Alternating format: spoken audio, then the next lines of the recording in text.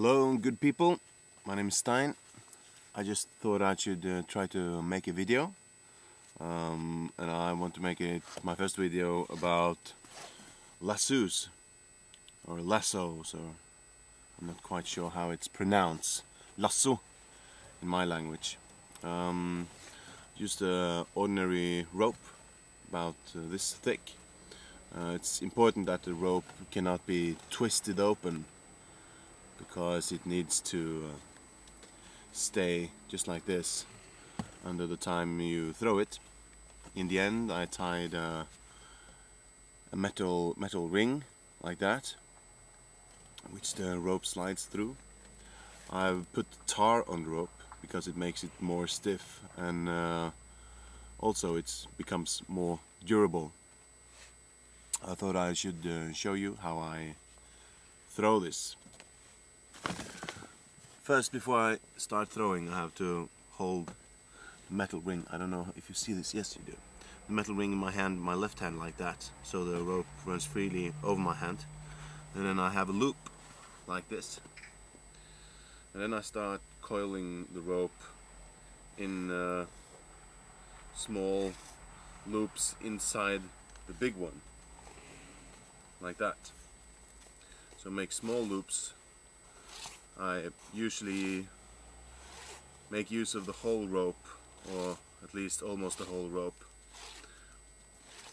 And I twist the rope half a turn every time I lay on a new loop so the loops stay nice and round shaped like that. So now that I um, coiled almost all the rope I let go of the metal ring in the middle or in my left hand and I just hold the end. And then I computer dies out on me. Let me see. Uh, tarp of my computer is falling down here. Well um, when I've done this I um, put lasso behind my back like that and throw it. Hope I hit it.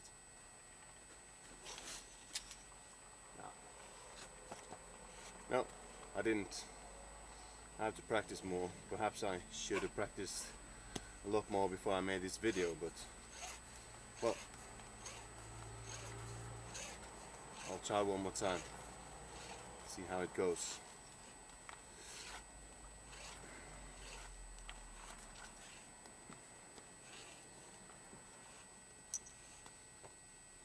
Okay. Oh.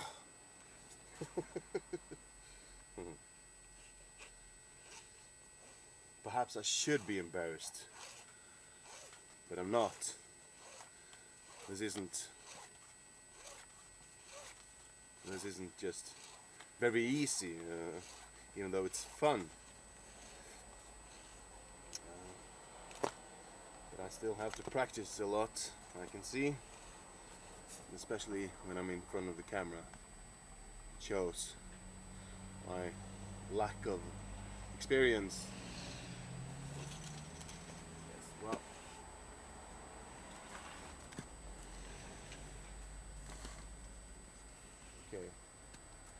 that's if that was there I would would probably have gotten one of its antlers.